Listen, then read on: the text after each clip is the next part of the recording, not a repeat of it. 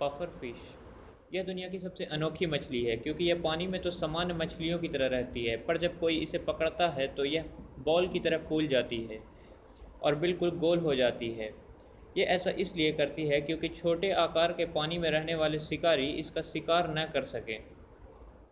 इसीलिए ये अपने अंदर हवा या पानी को भर लेती है, जिससे शिकारी इसका शिकार नहीं करते। इसीलिए जब इसे कोई पकड़ता है तो ये अपने साइज़ को बड़ा कर लेती है। और जब इसे छोड़ दिया जाता है तो फिर से अपने नॉर्मल साइज़ में आ जाती है।